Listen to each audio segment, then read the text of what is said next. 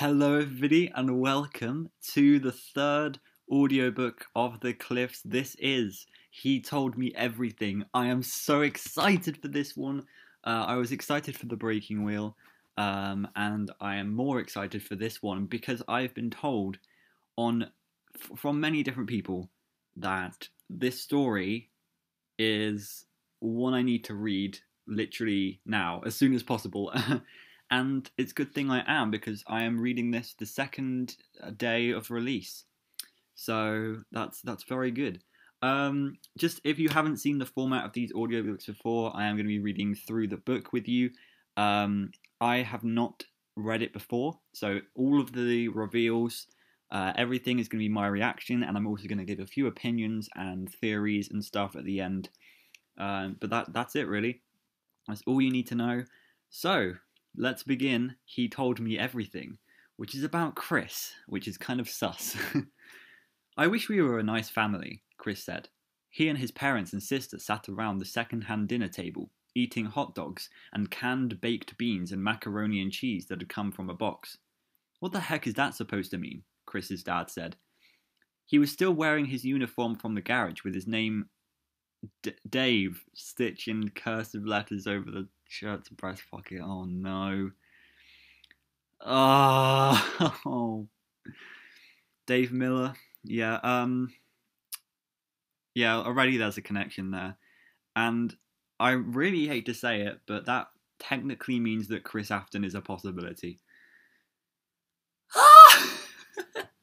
no, I don't think it is. I don't think it is because um you know, Uh, there's a reason why I don't think it is, which I can't really say because it's spoilers for another story. But I really don't think this is what the story is getting at. So hopefully that's nothing. But that's pretty big already that his name is Dave. Anyway, do you think we're all a bunch of jerks or something? I mean, look at your mum.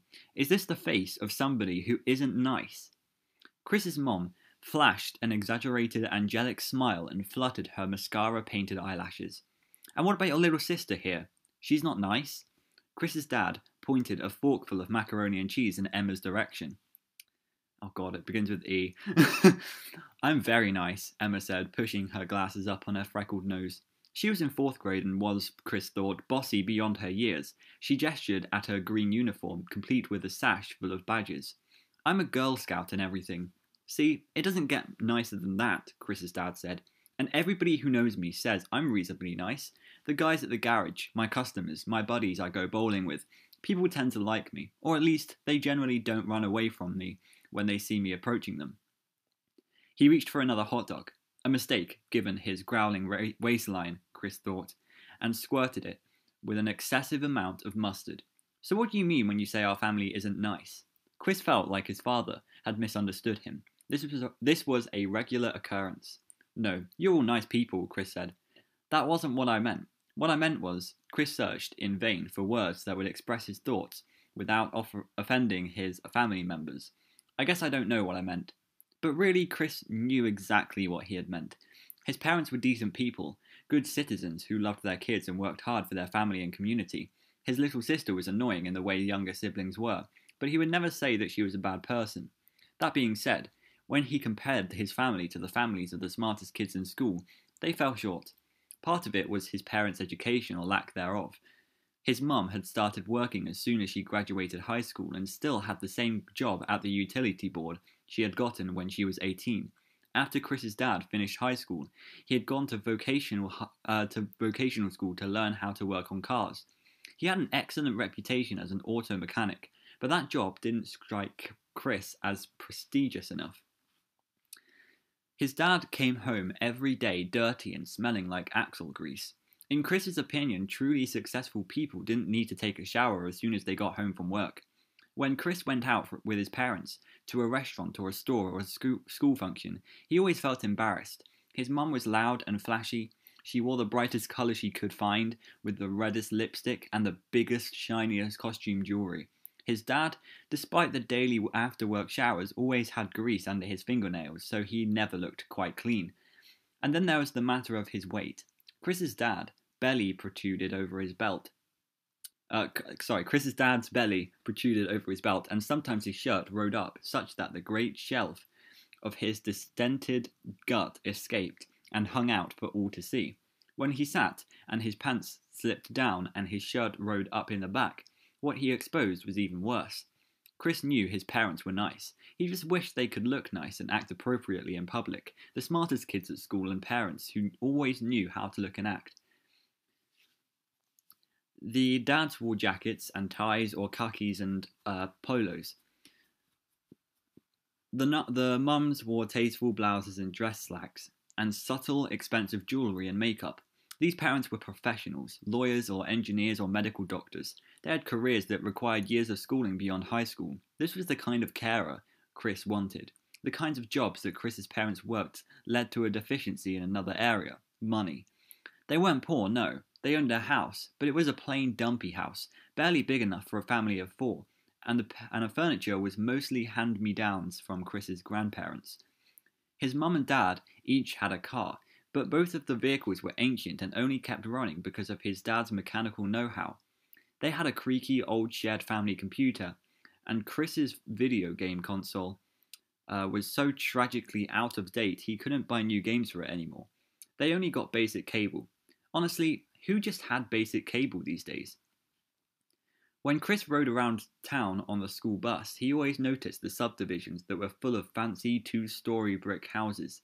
He liked to fantasize about the families who lived in them the doctor dads and lawyer mums and their high achieving kids, all dressed in designer clothes, eating grilled salmon and steamed vegetables and salad for dinner and then lounging in rooms that looked like they were ready to be photographed for one of the home and garden magazines you always saw in the waiting room at the doctor's office. That was a long sentence. the parents probably played golf and tennis at the country club while their kids splashed around in the pool. There were never any worries about how to pay for the kids' college once they were old enough. That's what Chris had meant by wishing they were a nice family. He wanted a nice life for them, with nice things, and a bright future for him and his sister. Surely it wasn't so wrong to want to want more out of life than scraping by every sec uh, by every month just to pay the bills, than having to buy the off-brand items at the grocery store just to save a few cents. Emma, it's your turn to do the dishes tonight, Chris's mum had said as they were finishing the meal. Okay, mum, Emma said. It annoyed Chris how cooperative she always was. Didn't she ever get sick of doing the same chores over and over? Chris, I told Mrs. Thomas you'd help take out the trash tonight, Mum said, getting up from the table. After that, you can take Porkchop for his after dinner walk. Porkchop. Uh, Chris didn't want to do either of those tasks. Why were parents always exploiting kids for free labour? Mum, he said, trying to keep his voice from rising to a whine. I'm busy. Tomorrow's the first day of school and I've got to get ready. Taking out Mrs. Thomas's trash and walking Porkchop will take 30 minutes tops. That gives you plenty of time to get your stuff ready for school tomorrow. He could tell from the tone of his mum's voice that she wasn't going to pick up with an argument. Okay, but I won't like it. I know you won't like it, his mum says. It's part of my evil plan to oppress you. She did a fake laugh, like a villain in a cartoon. Come on, I'm trying to make you laugh here. Emma, who was already clearing the table, laughed, but Chris wouldn't give the mother a satisfaction. With a theatrical sigh, he got up from the table and left by the back door to go to Mrs. Thomas's house. Mrs. Thomas was old, so old that Chris's parents were always amazed that she still managed to live alone and take care of herself. She had been a high school teacher for over 40 years, teaching Chris's parents along with many generations of the town's high school students. Now, though, she had been retired and widowed for many years and lived in a small, boxy, book cluttered house with just her cats for company. She cooked and did light housekeeping herself, but Chris's parents helped her out with anything that required heavy lifting, or at least in the case of the garbage, they forced Chris to help her. The arrangement was that on the night before garbage day, Chris would come to Mrs. Thomas's house, empty all the trash cans in the house, and take the bags to the big garbage pail in her driveway which would which he would then take to the side of the road so it would be ready for pickup next morning. Chris had once asked his dad if he could be at least paid for this weekly responsibility, but his dad had said, Sometimes you don't do a job for money, you do it because it's the decent thing to do. Chris had taken that as a no. Chris knocked on Mrs. Thomas's door and prepared to wait. She moved slowly, and it always took her time to answer. When she finally came to the door, she was wearing the same yellow cardigan she wore year round, even now when it was hot outside. She was a tiny, delicate, bird like woman. Her glasses were thick, and her hair was thin and grey. Hello, Christopher. It's so nice of you to come over and help me. She was the only person who ever called him Christopher. Sure, Chris said, but really it wasn't a matter of being nice. It was more that he was still a kid, and so when his parents made him do something, his only choice was to do it or suffer the consequences. Please come in, she said, holding the door open. There's just one bag of trash that needs to go out. It's in the kitchen. The house was dark and smelled musty. The walls were lined with full of bookshelves. Um, oh, with full bookshelves, yeah. And every piece of furniture in the living room had at least one cat sleeping on it. Sorry. He followed her into the kitchen. Could I interest you in some cookies before I put you to work? Mrs. Thomas asked, gesturing to the cat shaped cookie jar on the kitchen counter. No, thank you. I just had dinner. Mrs. Thomas's cookies were the cheap kind they sold at the 1990, 99 cents store, and they were always stale. After taking her up on the cookie offer twice, he had learned to say no. Well, that's never stopped me from having a cookie or two, Mrs. Thomas said, smiling. Your mother tells me you're starting high school tomorrow. That must be exciting for you. Yes, ma'am, Chris said, anxious for this conversation to end so he could get back to doing the stuff that really mattered. She was bragging about what a good student you were and how much you loved to learn. You know, I taught at your high school for many years, English literature. If you ever need help with anything academic, just let me know. And if you ever want to borrow any of my books, you're always more than welcome to. Thanks, but I'm more of a science guy than a literature guy. Don't put yourself in a pigeonhole yet. You're too young, Mrs. Thomas said. And there's absolutely no reason you can't be a, both a science guy and a literature guy. There are so many wonderful things in the world to learn. Chris lifted the garbage bag, filled mostly with empty cat food tins, out of the trash can. I'll take this out and then roll the big can out to the road, okay? Mrs. Thomas nodded. Thank you, Christopher. You're such a great help to me. Chris walked back toward his yard. He knew Mrs. Thomas was trying to be nice, but it kind of it, it was kind of sad that she thought she could help him with school stuff. She had gone to the lit, little local college a bazillion years ago, then taught high school English until she retired. It wasn't like she had she was some great intellectual. Plus, she was so old she had probably forgotten what little she had known. He was sure he could teach him nothing. Chris opened the gate to the fenced in backyard where Porkchop was wagging and waiting. As soon as Chris was inside, Porkchop jumped up on him and craned his neck so he could lick Chris's face. Get down, Porkchop, you're getting me all muddy. Chris backed away from the dog's dirty paws and tried to dust off his pants. Chris had wanted a dog, but Porkchop was not the dog that he had wanted. Chris had wanted uh, one of the smart, beautiful, purebred dogs he had seen on dog shows on TV, a border collie or a Shetland sheepdog. But his dad had said they couldn't afford a purebred dog, and that anyway, it was immortal. no, not immortal. Yeah, I've got William Afton on my line, on my mind. It was immoral to buy an expensive dog from a breeder when there were so many good dogs in shelters that needed good homes. And so one evening when Chris was in sixth grade and his dad had come home with Porkchop, a brown and tan overgrown snaggle-toothed shelter mutt who bore no resemblance to the elegant herding breeds Chris admired, it was immediately clear that Porkchop also lacked the intelligence to learn the tricks or agility skills Chris had dreamed of teaching a dog. Instead, Porkchop was a happy idiot whose favourite activities focused on his belly, either filling it or getting rubbed. Ready for your walk? Chris asked, asked without much enthusiasm. Porkchop made up for Chris's lack of enthusiasm by wagging, barking, and running in small circles. If you don't sit, I can't put your leash. Uh, if you won't sit, I can't put your leash on. Chris said. He couldn't believe how much time he was wasting carrying out his parents' orders. He attached the leash to Porkchop's collar. Once around the block, and that's all you get, he said. Walking through the neighbourhood was depressing. The houses were small and identical little boxes which had originally built, been built for workers in a steel mill that had been shut down many years before Chris was born. Into the pit? Hmm? the yards on which the houses sat were postage stamps small.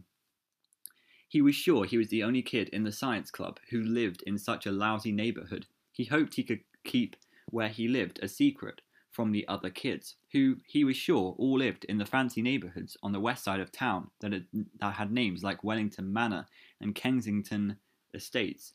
As promised, he took Porkchop around the block once, then brought him in the house and emptied out a can of dog food into his bowl. Porkchop happily gobbled it up. Finally, with all his chores done, Chris could go to his room and start getting ready for the first day of high school. Not only did he need to get this backpack filled and organised, but he also had to decide what he was going to wear. His mum had taken him shopping the week before and bought him five shirts, three pairs of jeans, and some new sneakers. But they had gone to this awful big box store because his prices were affordable. What Chris had picked out looked okay, but he wished he could have a real name brand clothes from one of the good stores in the mall. His mum said nobody could tell the difference, but he knew that was a lie she sold. Uh, she told to try to make him feel better. Still, Chris was feeling hopeful. The first day of high school was a fresh start, a chance for him to prove himself, a whole new ball game, as his dad would say. That man never met a cliche he didn't like. The thing that Chris was most excited about was joining Science Club. At West Valley High, Mr. Little's science classes and the club he supervised were legendary. Mr. Little's classroom was lit by plasma balls and lava lamps and string and strings of glowing bubble lights. He was famous for demonstrating spectacular experiments that involved fire or carefully controlled explosions, though he said he made sure his students didn't work on anything that would put him in actual danger.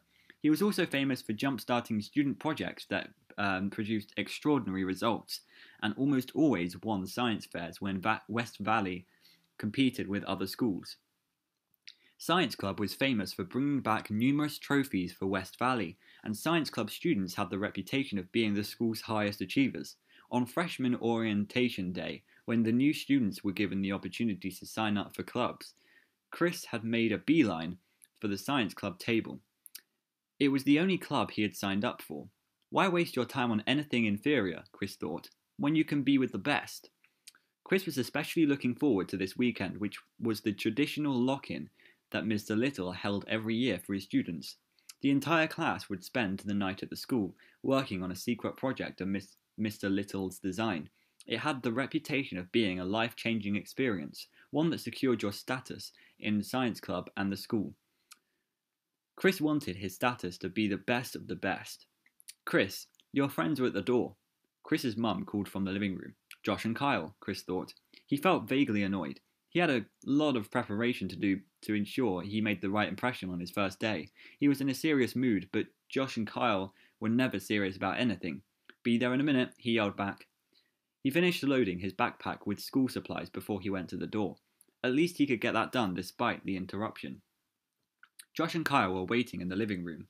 Josh had let his hair grow out over the summer and it hung in dark brown waves over his shoulders. Kyle had dyed a purple streak in his hair and was wearing a t shirt for some band with a skull and crossbones on it. Chris was a little nervous about the fact that Josh and Kyle would also be starting at West Valley High tomorrow. They had been his friends since they were preschoolers, but he hoped they wouldn't all hang over him during school hours. They were nice guys, but he feared the image they projected wouldn't go over well with the Science Club kids. He didn't want his old friends to hold him back from making new, higher status friends. Hey, Josh said, pulling his hair back behind his ears. Uh, a habit he had picked up since letting it go, uh, since letting it grow. It's our last night of freedom. Yep, Kyle said. Tomorrow they lock us back up and throw away the key until next summer. Actually, I'm kind of excited about going back to school, Chris said. I mean, it's high school, you know. Same thing with a different name, Josh said, sounding like he was bored already. We were going to ride our bikes over to the dairy bar, then go down to the lake. You want to come? Of course you are, Chris thought.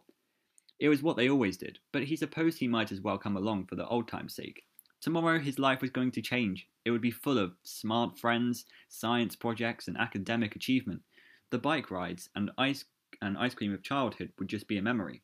Sure, why not? He followed the boys outside and got his bike. Race you to the dairy bar, Kyle yelled, like he always did. They took off. Chris intentionally didn't pedal as fast as Josh and Kyle. He figured he might as well let them win.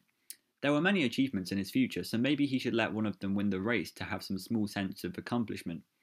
Soon he would be leaving them in the dust in other ways. Josh won. Not that it mattered.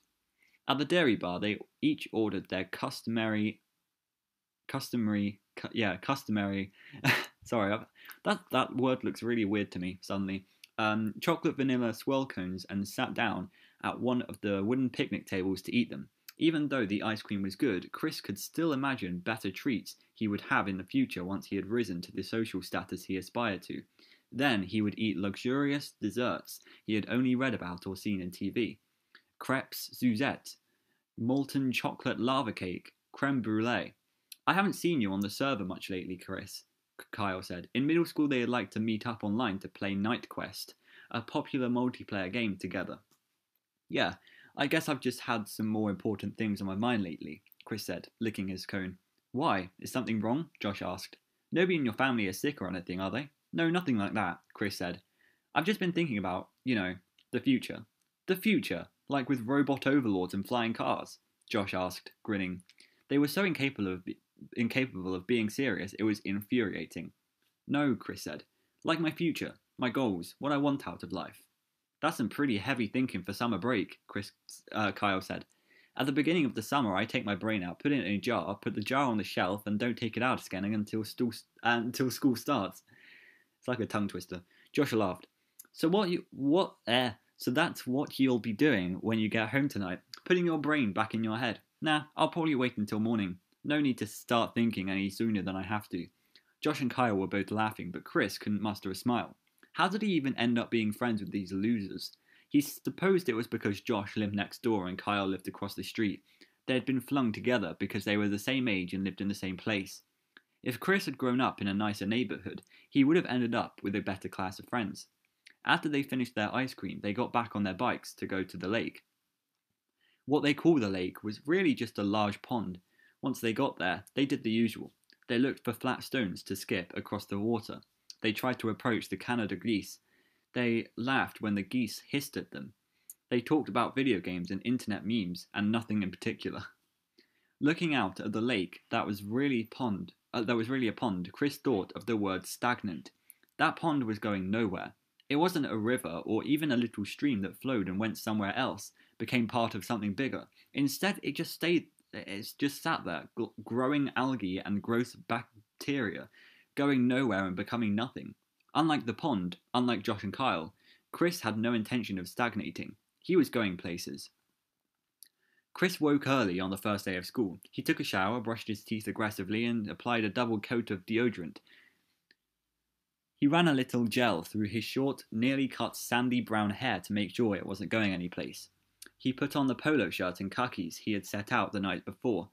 He wished again they were a better brand, but at least they were clean and new. Hey, there's my big fresh man. um, Mum said when he came into the kitchen. She assaulted him with a hug. That's weird. Assaulting with a hug. Um, Mum, stop, Chris said, squirming away from her and sitting down at the table. He poured himself a bowl of cornflakes and started slicing a banana over them. Mum sat down from across from him, holding a cup of coffee. She had already done her hair and makeup for work. As always, it was a little too much, in Chris's opinion. Her hair was dyed a shade of red that wasn't found in nature, and she was wearing a leopard print top, black leggings, and leopard print shoes. She wished she would aspire to simple elegance instead of cheap glamour. I know you get tired of me talking about how big you've gotten, she said, but when you are a parent someday, you'll understand. You start with this little tiny baby with the toes the size of corn kernels, and then it seems like no time passes till your baby's so tall you just have to look up at him. Chris didn't comment, just crunched his cornflakes. What was that to say? He had grown. It was what kids did. It wasn't like it was some great achievement or anything. Anyway, I'm proud of you, his mum said. Proud of your sister too. It really seems like she should still be a baby, but you, you should have seen her this morning. She got herself all ready and walked to the bus stop. So independent, she smiled. There was a little smear of lipstick on her front tooth. Say, I don't have to be at work till nine this morning. Do you want me to drive you in your first day? Chris nearly choked on his cornflakes. He didn't want the science club kids at his new school to see his overly made up mum pull in with her 10 year old ec- economy, economy car, sorry, that rattled and wheezed like somebody's great grandpa. What kind of impression would that make? No thanks, mum. I'll take the bus. What did I say? Independent. His mum reached over and ruffled his hair. Now he would have to comb it again. On the school bus, Josh and Kyle were sitting next to each other. When Chris boarded, Josh said, Hey Chris, Time to turn ourselves back into the jailer. Huh? Chris ignored him. There was an empty seat across the aisle from Josh and Kyle. But he ignored that too, and found another empty seat further back on the bus. It was better to be seen alone than to be seen in the wrong company. He looked around the bus, trying to figure out if any of the kids looked like they should be in science club members. West Valley High was much bigger and more crowded than Chris's old middle school. In the hallways, he had to concentrate to keep from running anyone over and not to be run over himself. It was hard to concentrate on navigating the hallway when his brain was consumed by one thought. Third period is Mr. Little's class. Third period is Mr. Little's class. After what felt like an eternity and a half, third period arrived. Chris and his classmates crowded into the room at the end of the hall and beheld the bizarre wonders of Mr. Little's classroom. Chris took a seat and looked around. The walls were plastered with posters, some outlining the, sci- the scientific method or showing cell structure, others displaying science related puns and wordplay. One said, In science, matter matters, and another, Think like a, like a proton, stay positive. Ha, classic jokes. I would say a chemistry joke, but all of them are gone. Sorry. Uh, the shelves that lined the room were filled with more scientific curiosities than Chris could take in at once. The one nearest him displayed a, revi- a variety of glass jars filled with clear fu- fluid and different biological specimens. Sorry, I'm still laughing from my amazing joke. Um, one jar held some poor creature's heart, another housed a fetal piglet with two perfectly formed heads. Yet another contained what looked disturbingly like a human brain. Mr. Little stood before the lab table at the, he- at the head of the classroom. He wore a white lab coat over a college shirt and a brightly coloured necktie printed with the design of a DNA, uh, a DNA helix. Love that. I love Mr. Little. He was a small, energetic man, the literal incarnation of his last name, and he was smiling like the master of ceremonies in a particularly exciting show. His safety goggles, worn over his regular glasses, made his eyes look huge and insectoid. Come on in, find a seat, don't be shy, he said, as students filtered into the classroom. I promise there will be no major explosions or dismemberments, at least not on the first day. He flashed a, nas- a naughty grin. Chris didn't know everything he would be learning in the class, but he already knew one thing. He had never met a teacher like Mr. Little. Alright, let's go ahead and get started, Mr. Little said. Though the tittering among the students didn't die down, Chris expected Mr. Little to raise his voice, take out his roll book, and start taking attendance, but instead he poured some kind of clear solution into a glass container he held over a Bunsen burner. Within seconds, a huge fireball appeared, its flames falling just short of licking the ceiling, then disappeared instantaneously. Everybody in the classroom gasped. I thought that would get your attention, Mr. Little said, grinning. But I promise, you ain't seen nothing yet. He looked around the room. This is science, and this is not for the faint of the heart or the cowardly. It's not about just reading a textbook and answering questions correctly. It's about innovative thinking. It's about getting your hands dirty. It's about experimenting with all that the word experiment implies. Sometimes we succeed and sometimes we fail, but either way, we learn. In this class, I may ask you to do some stuff that sounds kind of crazy, but I promise that if you bear with me and follow my advice, by the time you're done with this course, you'll be thinking, talking, walking, and quacking like a scientist. He looked around the room. Now, who's ready to learn some cool stuff? Everybody clapped, hooted, or cheered. Chris already felt like he was a member of an exclusive club. Now, before we get to the fun stuff, we have to jump through a few bureaucratic hoops. Excuse me? Mr. Little said. The first being this lab safety contract, which you and your parents must read and sign, saying that you will not intentionally blow up the school or any other classmate. Oh, where's the fun in that? A, a kid in the front row asked, and everybody laughed. Oh, it's always good fun until you have to scrub somebody's viscera off the walls. Mr. Little said. I do hate it when students leave a mess. More laughter. The boy sitting in front of Chris raised his hand and asked, Are you going to talk about the lock in? Yes, Mr. Little said. There will be a meeting in this room right after school today for everybody who's interested in coming to the lock ins this weekend. I strongly suggest that you all come for the sake of your grades. Uh, he mouthed the words extra credit, and for the sake of science. Uh, once class was dismissed, the boy in the front of uh, the boy in front of Chris turned around. I haven't seen you around before. Are you a freshman? His eye, his brown eyes were intense and intelligent. Yes, Chris said. How about you? Sophomore. He, the boy said. Sanjeet Patel. Everybody calls me San. Chris Watson. San radiated not only intelligence but confidence. Chris suddenly, desperately wanted this kid to like him. Are you doing science club? Stan, uh, San asked as they gathered their belongings.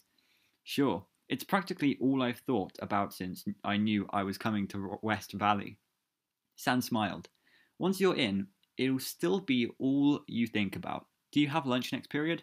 Chris nodded, hoping for a lunch invitation. This conversation seemed to be going well. So do I and a lot of science club people. Why don't you sit with us and let everybody get a look at you and see what they think? That'd be great, thanks.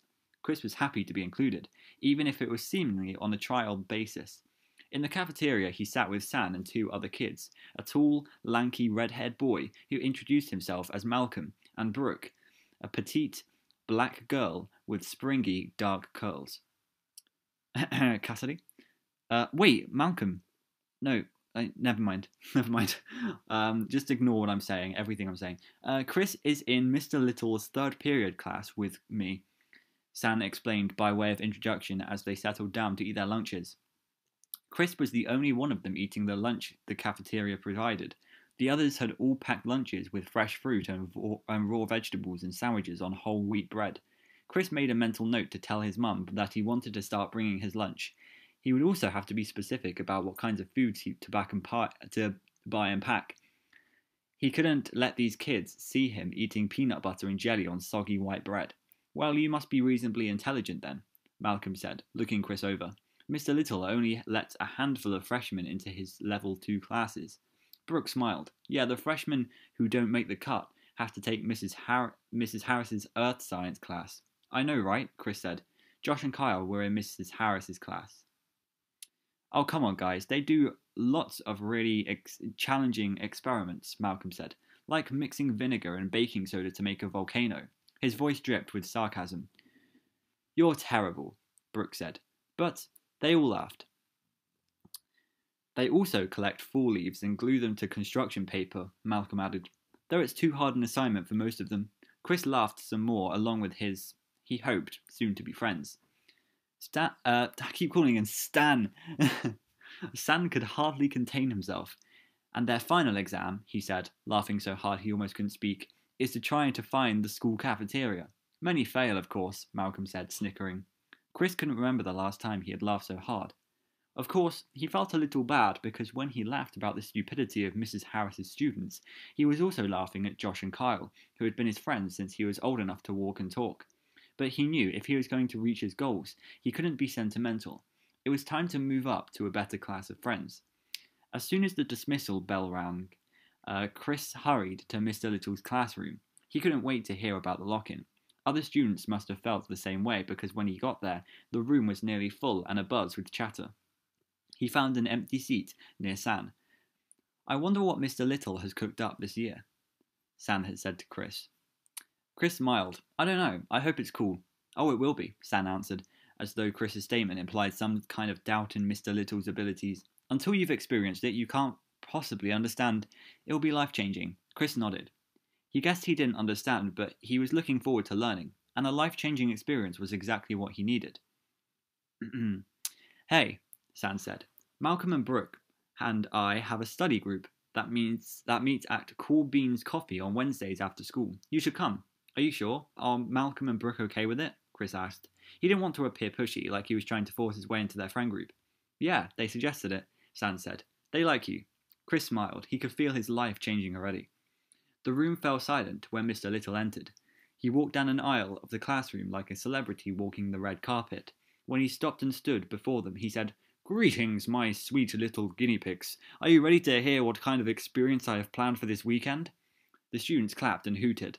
Chris wasn't used to seeing such displays of enthusiasm in a classroom. It was a refreshing change. First of all, Mr. Little said, starting to pace, science requires sacrifice. If you're not willing to make a sacrifice to give up a part of yourself for the sake of science, then don't bother coming in on Friday because this lock in isn't for you. Stay home and do whatever it is you do on your little electronic devices or go play a sport or whatever. Only come here if you are willing to make a sacrifice and experience a transformation. Transformation. Chris felt like that was the word he had been looking for to describe what he was seeking. He wanted to transform his life, to transform himself into something different, better, more worthy. That's foreshadowing. I bet you people are going crazy about this story because it, quote unquote, um, what was I going to say? I don't know. oh, confirms. It confirms, uh, you know, Mike Bot. Uh, no, sorry, Victim Bot. Or is that even a theory? I don't even know. The fact that Crying Child comes back as a robot or something. It, that was basically my victim. Um, but I, I, I, I hope that's not where it goes. I hope that's not where the story is going. In the past, some of our science club lock ins have been group activities. This activity is one you will do alone. In fact, each of you will have a cubicle sequestering you from the other students from and from me as well. Each of you will be issued your own Freddy Fazbear Mad Scientist kit to work with. In this kit, you will find a solution called Fazgoo. You will put the required amount of Fazgoo in the provided Petri dish. He smiled. Then comes time for the sacrifice. With the pliers I will provide, you will pull one of your teeth. A gasp rose from the crowd. Chris heard himself gasp too. One of their teeth? Surely he hadn't heard Mr. Little correctly. Oh no. Oh no, Mr. Little is some kind of mad scientist and he's trying to get the DNA or something to make clones. I'm going far with this. I'm going too far with this. Oh no. I, I, I think I can see where the story is going. Excuse me, Mr. Little, could you repeat that part? One student asked in a nervous sounding voice. Teeth, Mr. Little yelled. You will pull one of your teeth. It might hurt a little, but trust me, it will be worth it in the end. Now, are you scientists or are you a bunch of sniveling babies? Scientists, most students yelled back. Good. Mr. Little resumed his uh, pacing. So you will pull one of your teeth, as I said, and you will place it in the Fazgoo. Then you'll do what scientists spend a great deal of their time doing you will wait. You will be provided with a cot to nap on while the process unfolds. And what process is that? One student asked. Well, what fun would it be if I told you that? All I'll say is that is the process of discovery. Mr. Little's eyes were wild with excitement. You will know when you're done because the results will speak for themselves, literally. Then you will dispose of your creation in a biohazard bag and leave a changed person. And not just dentally, but mentally, he cackled at his own joke. That's quite good. That's actually quite good. Uh, and many students joined in on the laughter. Sorry, I'm like a little kid. Uh, there is a rumour, Dr. Little said, that not participating in the lock in hurts your performance in my classes. This is not exactly true. If you do not participate in the lock in, but you successfully complete all course requirements, you will still pass my class, possibly with an above average grade. However, over the years, I have found that the students who do participate in the lock in demonstrate a level of commitment that allows them not to just pass, but to excel. And the fact that the lock ins is worth 500 points of extra credit doesn't hurt either. He grabbed a stack of papers off his desk. Now, for all those who are up for this challenge, I will now distribute the required parental permission sheets that allow you to participate in the lock in. But please make sure you don't say anything to your parents about the required tooth extraction. I don't want to be on the receiving end of any dental bills. Also, as a community of scientists, we must keep our secrets. Chris felt excited but also scared. He wouldn't let his fear stop him though. You didn't transform yourself by playing it safe. You had to take risks, try new things. When Dr. Little offered him a permission sheet, he grabbed it. uh, there was only one part of the lock in that Chris dreaded. The more he thought about it, the more nervous he became at the prospect of pulling out one of his own teeth. I'm sorry, but uh, I already feel lightheaded. And the reason I feel lightheaded right now is because I really hate reading about teeth or thinking about teeth or anything like that. I'm literally getting dizzy right now as as I think about it. Um, in a minute, I might have to take a break if it gets too intense, but I, I don't think it will. Uh, I think this is the limit of uh, of teethness. Um, actually, it probably isn't. I underestimate Scott. Uh, Chris had always been squeamish about dental matters, like me. Uh, when he was little and had a loose baby tooth, he would procrastinate pulling it until the tooth hung by the smallest of threads. Ugh. Sometimes, if he was lucky, the tooth would just come out without him even having to touch it. He lost one in an apple once, another in an ear of corn, another time when he had one tooth that he had been letting hang that he had been letting hang on for a number of weeks. His dad asked to see it, then yanked it out without warning. Oh god, I hate that. Chris had been mad at him for days. Oh yeah, I can imagine. then there was the matter of dental visits. Even if it was an exam and a cleaning, Chris was consumed with anxiety for weeks before. His mother told him she loathed his trips to the dentist as much as he did, because she was the one who had to get him up there and put up with his moaning and groaning before, during, and after. Chris lay awake all night thinking. The lock in was two nights away. If he could just figure out a way to participate in the experiment without having to pull out his own tooth. Chris, your friends are at the door, his mum had called. Again, Chris thought. It showed how much less serious uh, Josh and Kyle were that they'd show up and want to hang out on a school night. Tell them I have homework. Chris yelled. Come tell them yourself, his mum yelled back. Chris rolled his eyes but got up from the bed. He went to the door to see Josh and Kyle. Hey, he said, I can't hang out tonight. I've got homework. We just stop by for a sec, Josh said. Kyle's mum is going to drive us all to the mall on Friday. We're going to eat at the food court and see the new Revengers movie. oh, that's definitely an Avengers rip-off. uh, we wondered if you wanted to come. It was kind of them to ask, but their past time seems so childish now. Thanks, guys. I'd love to, but I've got the science club lock in at night. Oh, you're doing that? Kyle said, sounding incredulous. It seems kind of sad to spend most of a weekend in school. Well, I think it's exciting, Chris said. Kyle and Josh exchanged a look. Just don't get too deep into the science club stuff, okay? Josh said. Some people in Mrs. Harris's class were talking about it yesterday. They say it's weird, like a cult or something. Chris couldn't help but be offended. Josh and Kyle might not be cut out for Science Club themselves, but they could at least show it the proper respect.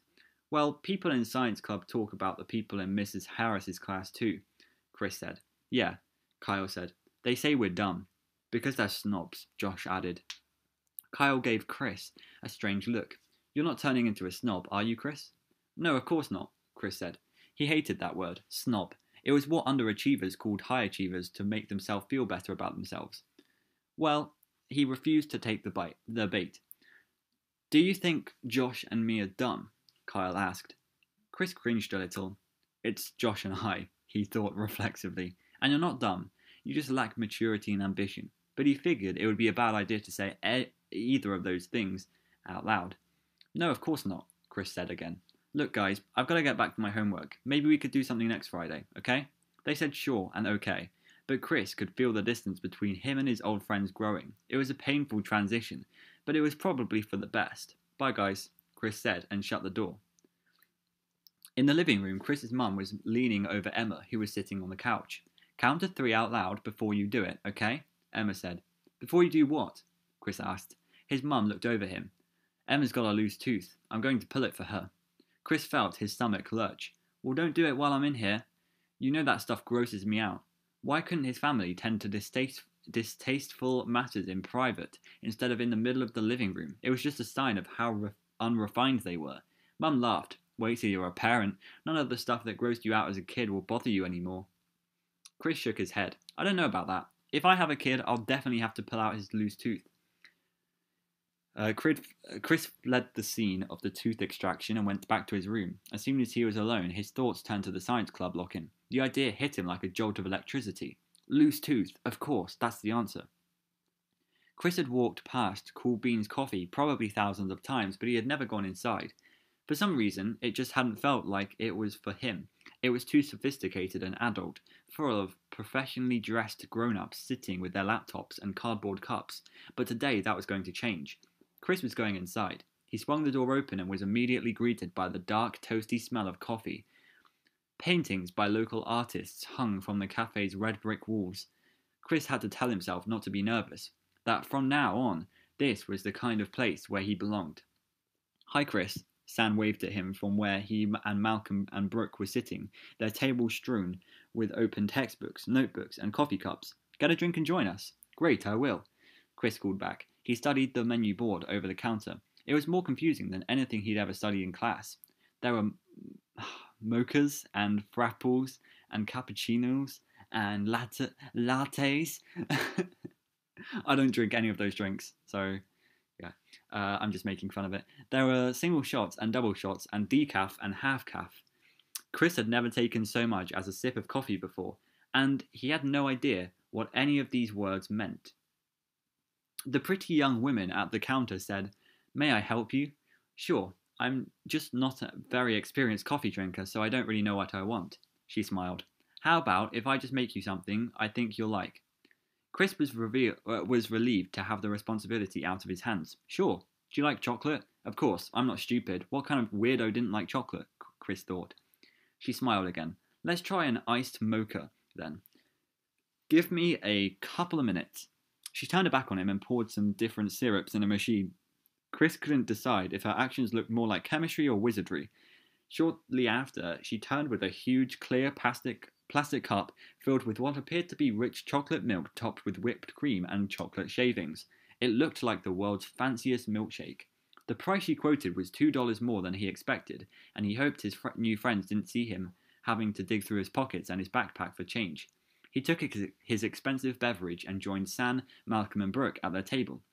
They were all drinking hot coffee from paper cups, and compared to theirs, his milkshake like drink looked childish. He had to admit it was delicious, though.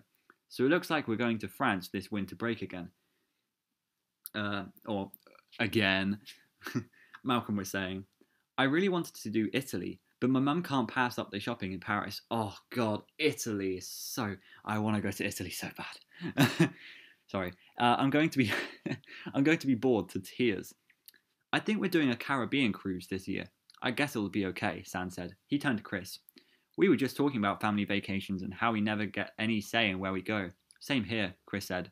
He hoped they didn't ask him about where his family had gone on vacation. Chris's family's vacations were always the same. His parents took a week off in the middle of the summer and they rented a cabin at the state park that was a couple of hours away. They spent the week fishing, swimming, hiking, and cooking out. It was always hot and buggy. For the most part, they had fun, but Chris knew it was a poor people's vacation. Ooh, that looks good. Brooke said, nodding toward his drink. Is that a mocha? Yes, said Chris. He was going to have to study up on coffee lingo. His parents drank coffee, but just the kind you bought at the grocery store and made at home. Mine is too, she said. Just hot instead of iced. Chris felt less self conscious about his drink now. You need to loosen up around your new friends, he ordered himself. They had invited them to join him, uh, or him to join them. They wanted him here. It was time for him to start acting like he belonged. So, what kind of results do you think the experiment at the lock-in will produce?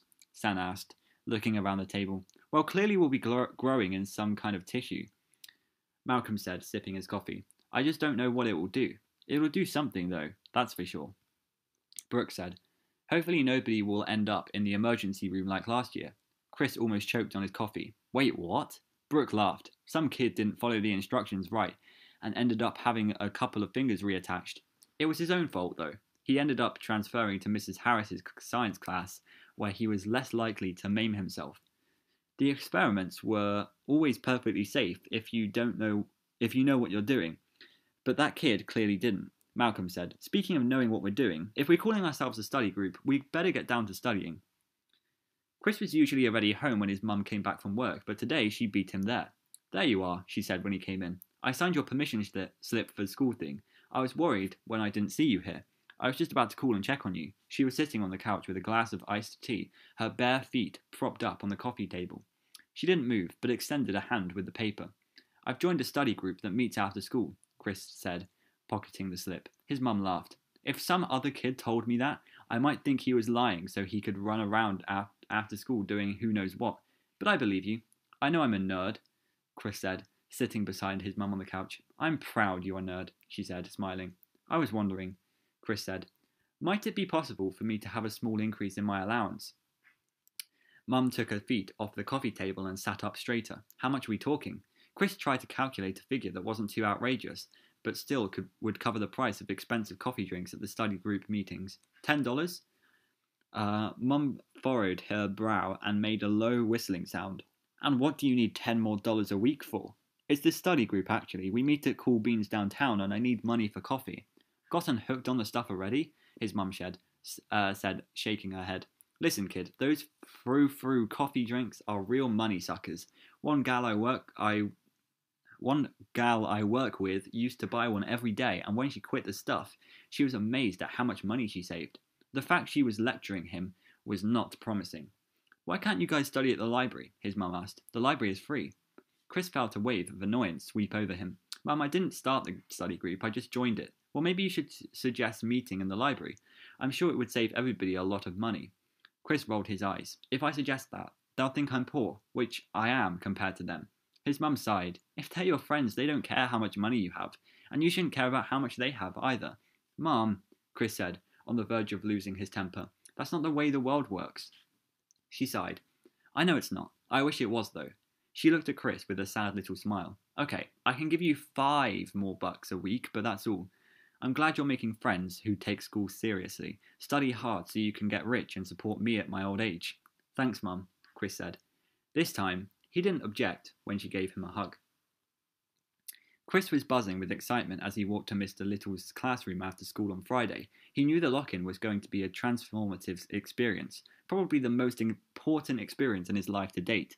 He hoped he could complete the experiment, to Mr. Little's satisfaction and gain his approval as well as the approval of the other science club members.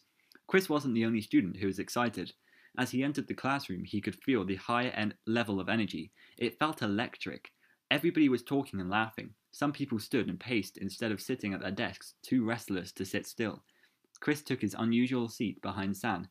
San turned around and grinned at him. Your first lock in. This is a big day for you, right? Yeah, Chris said, smiling back. It is for me too, San said. But it's even bigger for you because it's your first time. After tonight, you'll be a full fledged member of Science Club. All eyes on me. All mouth closed. Uh, Mr. Little called from the head of the classroom. I know you're excited. Heck, I'm excited too. But there are some very important directions you have to follow exactly, or the experiment won't work. He pushed his glasses on his nose. I have also taken the liberty of ordering some pizzas which should be here shortly.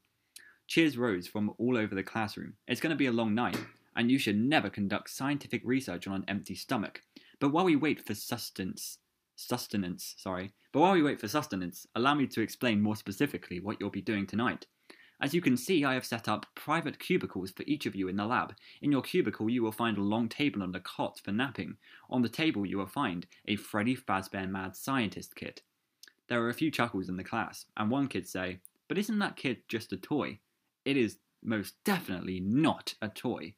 Mr. Little replied, his voice turning stern suddenly. And if you treat it as one, it will be at your own peril. He held up the kit for everyone to see and then opened it.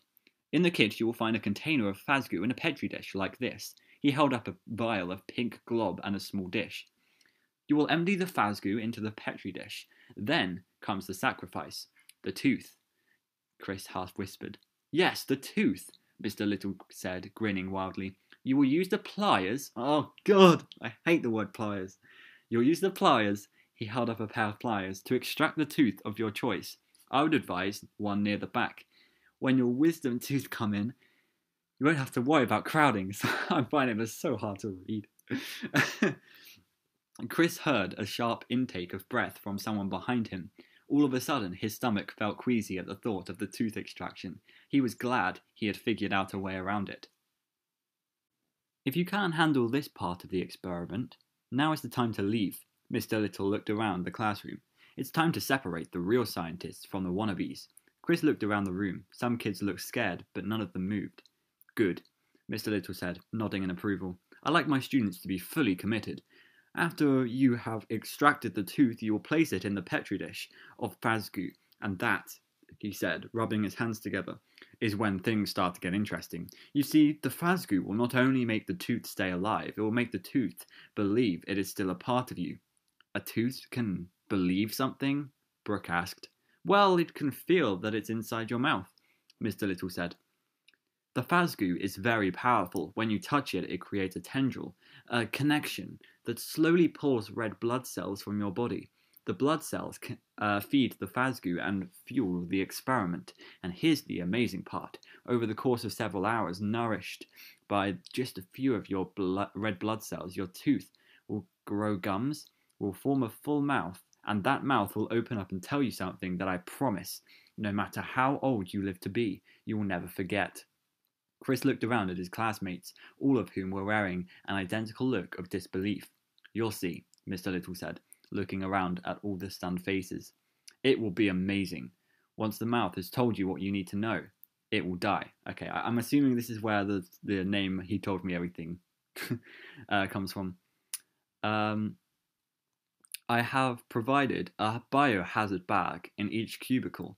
You will dispose of the mouth and the Fazgoo in the bag. After you have brought me the bag so I can dispose of it correctly, you are free to go.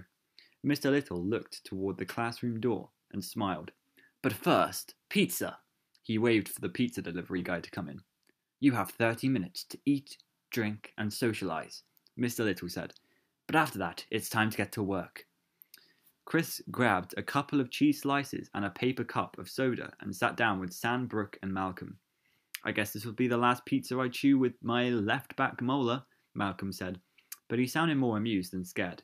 I'm a little worried pulling one of my teeth will mess up my orthodontia.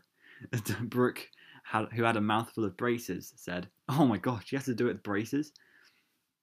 Uh, yeah, your orthodontist, your orthodontist is going to be mad. San said. Will your parents be mad too when they find out? Brooke shrugged. Not if I tell them it was a science club ex- assignment. They'd let, a, they'd let me saw off my own arm if they thought it would improve my chances of getting into a good college. My parents would too, Malcolm said, and they all laughed. They'd let me saw off both my arms if it would get me into the Ivy League. My mum would be totally mad. San said. Uh, Brooke laughed. Oh, she will, won't she? I forgot. Forgot what? Chris said. Brooke laughed some more, but managed to get out. Sam's mum is a dentist. After they laughed some more, Malcolm said, That reminds me, Chris, I don't believe you said what your parents do for a living. Chris felt a flutter of panic in his belly. He couldn't possibly tell them that his mum was a cashier when people paid their electric bills, and that his dad fixed people's cars. Um, my mum is an electrical engineer, and my dad is a mechanical engineer. Wow, two engineers for parents? Sam said. You must be really good at math. Chris nodded. This part, at least, was true. Okay, Mr. Little called. Time to get to work, scientists. Chris was glad that he hadn't revealed to Sam, Malcolm, and Brooke that he was going to perform the experiment without having to pull his own tooth. He couldn't let anybody know that he had figured out a way to game the system. Chris entered his cubicle and filled the petri dish with Fazgoo as instructed. Within a couple of minutes, he could hear grunts and groans as the students in the other cubicles laboured to pull out their teeth. In the cubicle nearest him, he heard a scream, followed by a sickening popping sound as the tooth released from its roots. Chris figured that for the sake of realism, he should grunt and groan a little too. He faked it for a few minutes, very believably, he thought, and then he reached into his pocket and pulled out his ace in the hole. The sight of his mum about to pull his sister's tooth the other night had made him remember that when he was little he had declined money from the tooth fairy in order to keep uh, all his old baby, teeth. He didn't know why he hadn't been willing to let them go, especially for cash, which was hard to come by in this family. He had been a weird little kid, but now that weirdness was paying off. Chris submerged his old baby tooth in the Fazgoo. When he touched the goo, he felt he sorry he thought he felt a slight sucking sensation in his fingertips. He pulled his hand away, but a tendril of pink slime connected his index finger to the petri dish with his tooth in it. The tendril was stretchy, like mozzarella cheese when you lift the first slice from a hot pizza. Now there was nothing to do but wait for the tooth to get what it needed from him. He lay down on the cot, making sure not to break the tendril that connected his finger and the Fazgoo. Chris closed his eyes and let himself doze. Soon he was dreaming of future successes. He saw himself as though he were a character in a movie, opening the letter granting him a full scholarship to an Ivy League university. He saw himself doing research in a lab at the university. The lab was bright and clean and filled with the most cutting edge equipment. A distinguished professor in a white lab coat stood behind him and looked over his shoulder, smiling at the good work he was doing. Chris saw himself in a black cap and gown, walking across a stage. The university professor handed Chris his diploma, and Chris smiled to have his picture taken. But when Chris smiled, it was immediately clear that something was wrong. Blood dripped from his lower lip down to his chin. His mouth was a black cavern framed by a bloody mess of gums. Somebody had pulled all of Chris's teeth. Oh my god! Oh! Oh! Chris startled awake. Oh yeah, this is. Sorry, I kind of zoned out and I forgot it was a dream. Yeah, Chris started awake. Silly me. Of, of course, I'm the only person who would do that, who would forget that that was a dream. I have really bad short-term memory loss. Um, he was disorientated uh, at first, waking up on a narrow cot in a cubicle, but then he saw the tendril strung between his finger and the petri dish and remembered where he was and why. Sitting up, Chris heard movement and whispering coming from the other cubicles. Could the whispering be coming from the mouth that this experiment was supposed to create? Chris pressed his ear, ear into the petition in hopes of making out what was being said, but no words were discernible. From where he was, the whispering just sounded like the soft whooshing of wind through trees. But then he heard the voice of the student in the cubicle next to his. Wow, he, she said, her voice filled with awe. Wow! There was a rattle of plastic, which could have been the uh, bi- biohazard bag, then the sound of footsteps. Chris pushed one of his cubicle's partitions open just a crack so he could watch the student leave. It was Brooke, but the look on her face was different than her usual smart, collected expression.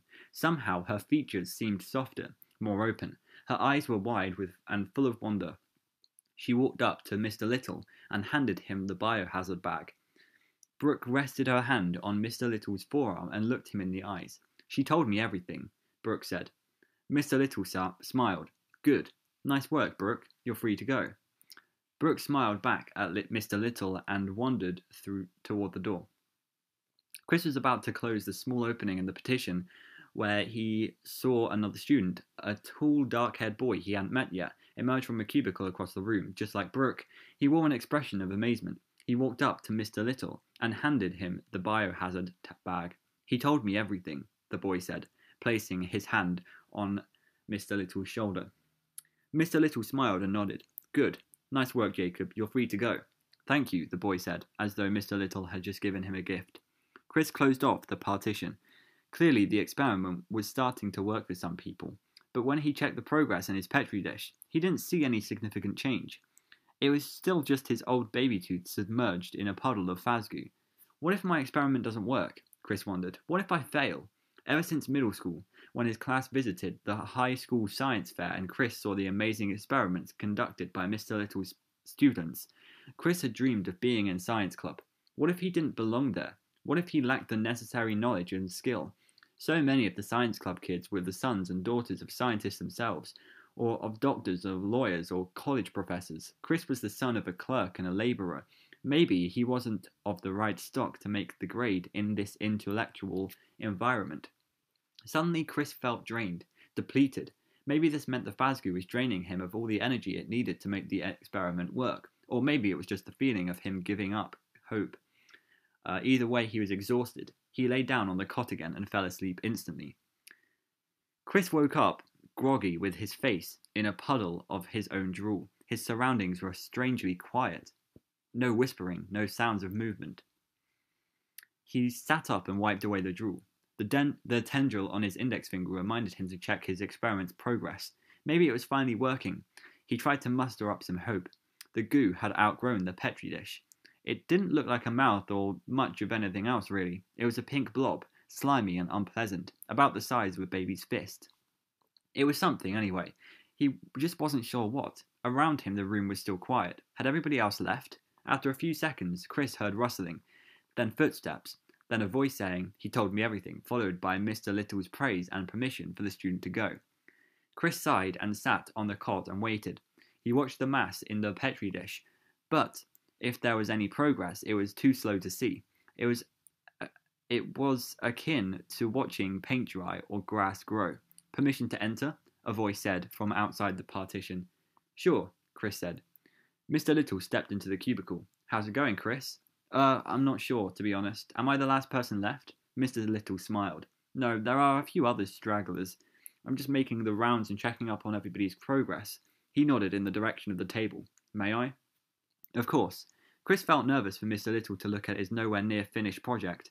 Mr. Little approached the table and looked at the blob, cocking his head in a way that reminded Chris of the family dog.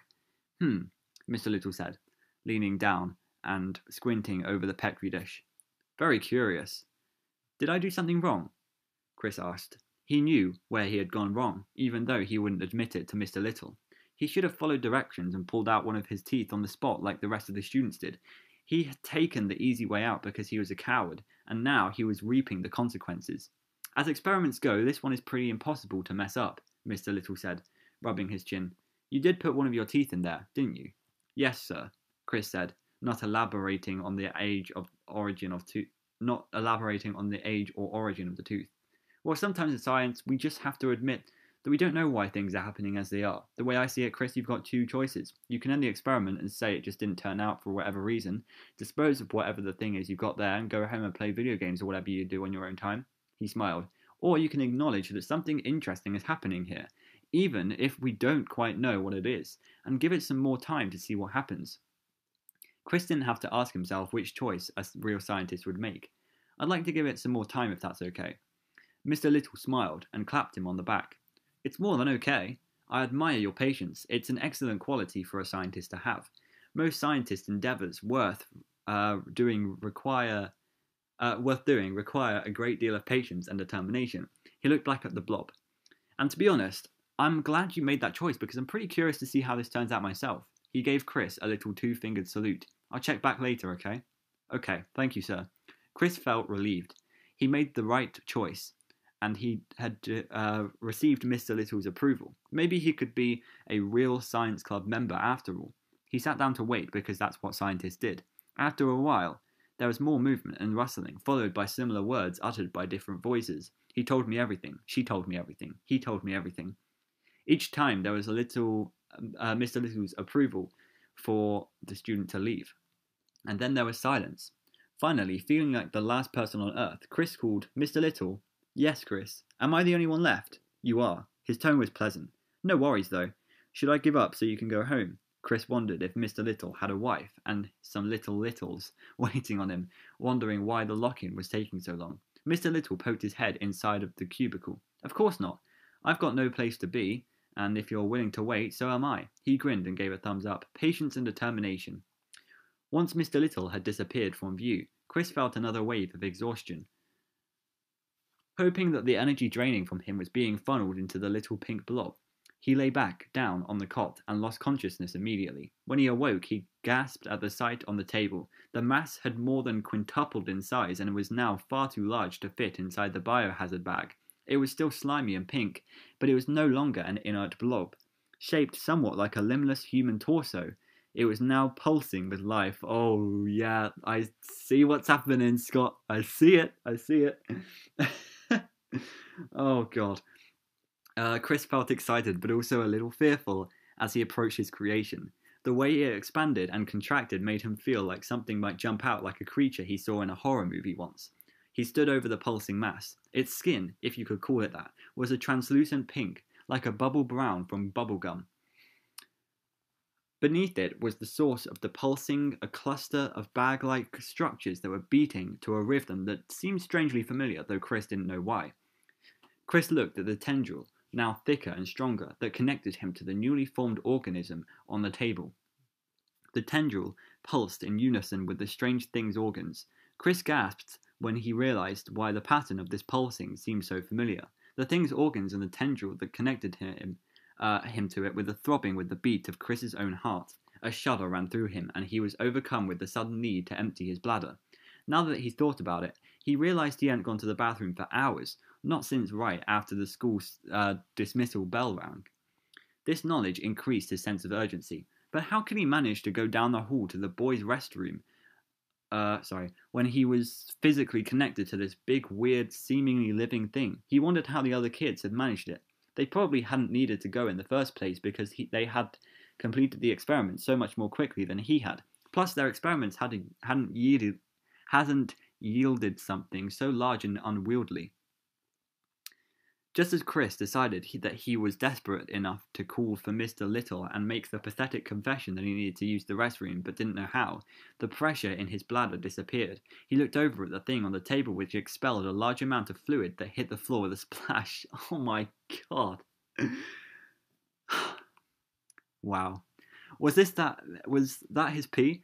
And what was it doing over there? Chris knew he should have been embarrassed. He was pretty sure he had just peed on the floor of his science classroom, after all a big no-no if there was there ever was one. But mostly he was just confused. Wasn't his pee supposed to come out of his own body? He looked at the tendril. Now even thicker and stronger. It was a tube connecting his body to the thing, feeding like it was the umbilical cord that connects a mother with her unborn baby. Maybe his pee had travelled from him through the tube to be expelled by the thing on the table. But why?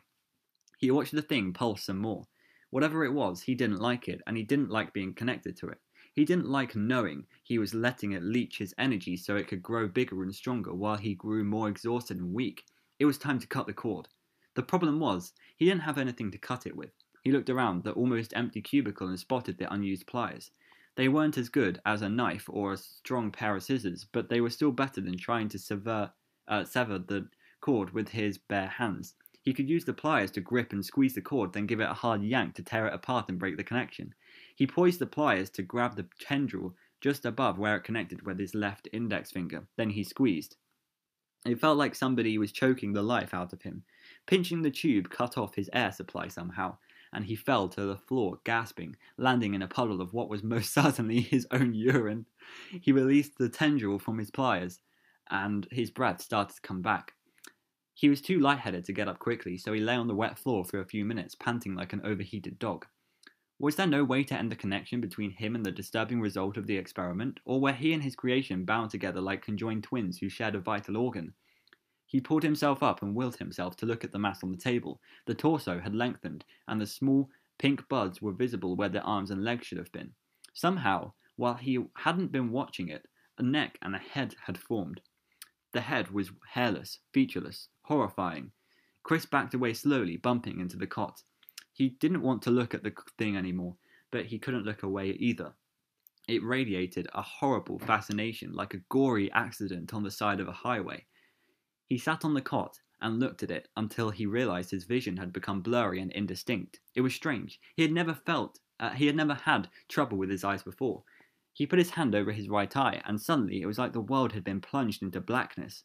He, re- he reached up to put his hand over his left eye, and what he found there made him cry out of out in horror. His left eye was gone, Huh. it was impossible, of course. The loss of red blood cells and his level of anxiety must have been disrupting his perceptions, making him paranoid, making him think he was hallucinating. He reached up for his left eye again, but felt only the gaping, empty socket. Impossible, he told himself again.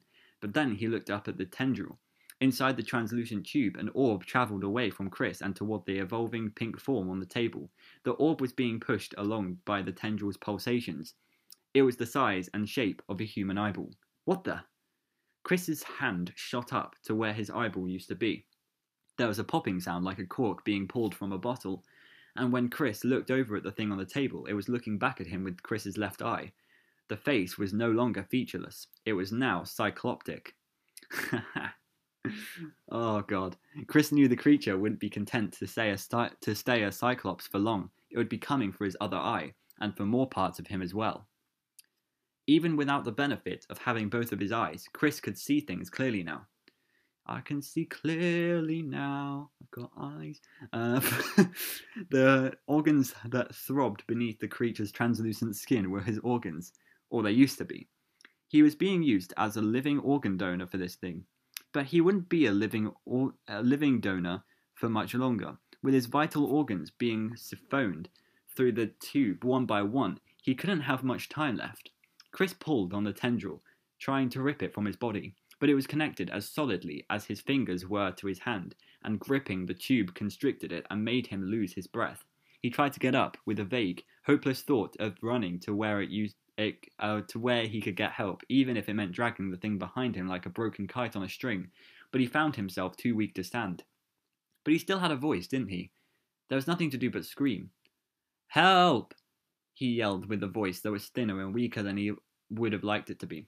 Help! Mr. Little! Anybody! I'm over here! Help me! His cries for help were met with silence. Now that all the other students had gone home, had Mr. Little gone home too? Would he have left without saying goodbye, without giving Chris permission to leave as well? Chris could not remember ever having felt so utterly alone. The yelling had tired him out. Everything tired him out.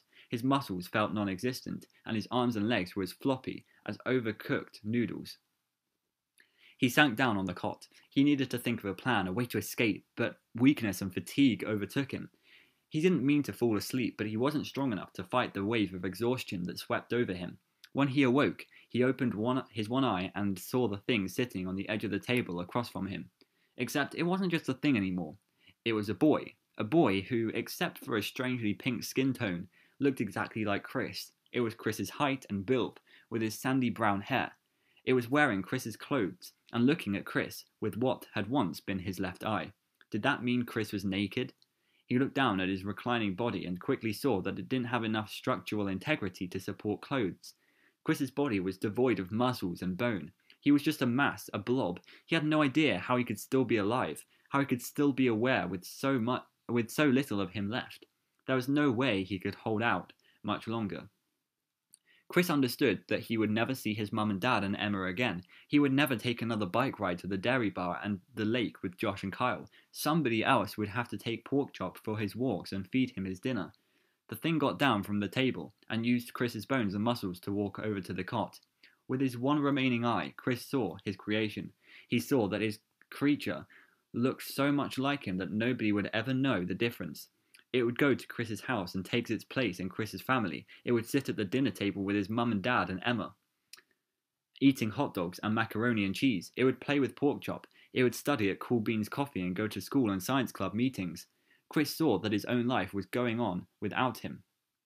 Chris struggled to speak. His throat and mouth were as parched as a desert, and he was pretty sure his lips were gone. It was hard to make himself heard.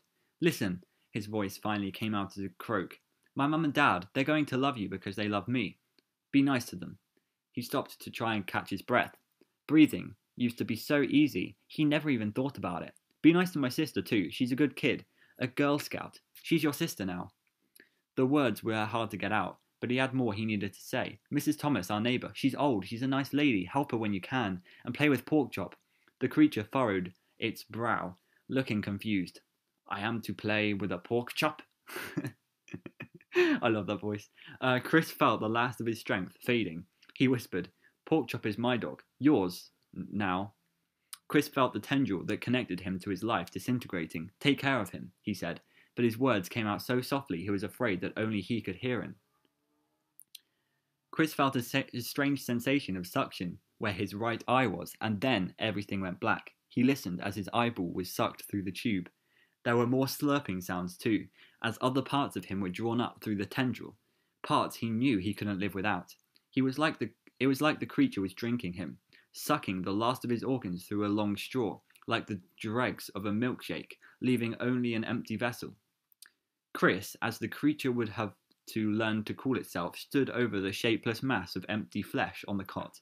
He opened the biohazard bag and stuffed the, fle- uh, the fleshy remains of the experiment inside of it. He was surprised that he was able to cram all of it into one bag, and when he picked it up, the contents was surprisingly light. It left the cubicle and found Mr. Little sitting at his desk drinking from a styrofoam cup of coffee and munching on a donut. Well, good morning, Chris, Mr. Little said, standing up and brushing crumbs from his moustache. You had a long night, didn't you? But don't keep me in suspense. Did you finally complete the experiment? Did you get the results you wanted? The new Chris's eyes were wide and full of wonder. Soon he would be stepping out of the classroom and out of the school and into the world for the first time. Chris handed the biohazard bag to Mr. Little. He looked into the teacher's eyes and smiled. He told me everything, he said. As Chris walked outside the school building, the sun was warm on his face. The sky was blue, the clouds were white and fluffy, and birds chirped in the trees. Chris smiled. It was a beautiful day.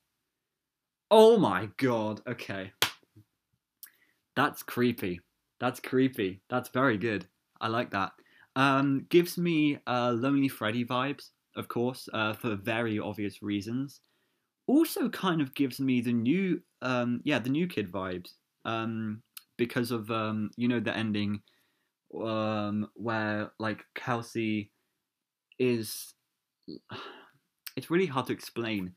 Uh, I don't know how to explain the ending to you, but like Kelsey starts a new life um, as like possibly in a new body. It's so strange. Oh my god. I really like this. I, I just wonder what all these stories are trying to tell us about the lore, if anything. Uh, I mean, it was a very good story, but if there's any lore aspects, I have no idea what. Um, something transforming into something else. Huh. I don't know. I really don't. Um, but the story as a whole, that's my favorite of the cliffs, definitely. Um, that that was definitely my favorite. Um, it was a very good story. Um, it, it must be one of my favorites. It must be up there. If you guys want to, by the way, if you guys want to see me do like me rating all the stories, um, then I will I will do that. Um, actually, I might do that this week. Uh, I might do uh, me rating all of the Fazbear Fright stories from best to worst, you know, uh, or a tier list. Um, anyway, that was such that was a very very good story. I am baffled at how good that was, um, and how creepy it was. Um, I don't I I can't think of any lore significance. I just can't. I'm so glad that it it doesn't look like it's Chris Afton. I'm so happy with that. Imagine if Chris Afton was a thing. Anyway, that is it for um he told me everything. Um that he told oh that's that's a theory I have about this story in particular. Sorry, I, I know I'm gonna continue for a while, but that's theory because what if just hear me out what if every child went through the same thing hmm wouldn't that be so weird? Because technically, we don't know if um, if the other children uh, went through the same thing or not. Um, but that could be a possibility. The reason I don't think that that is going to be the actual thing is because everybody else put in a tooth, uh, their real tooth, and um, Chris put in his finger with his baby tooth. Um, so it, it was like his fault um, but yeah. Uh, anyway, I'm gonna end it. I'm gonna end it. Um, the next story I'm doing is, of course, the Stitch Wraith, and then that is the Cliffs done in two days. In two days, I finished an entire book. I'm so happy with that. Um, the Stitch Wraith is actually a really, really long Stitch Wraith story this time, so I'm going to be excited to read that. Anyway, we will be reading that very soon, and I will see you then. Goodbye.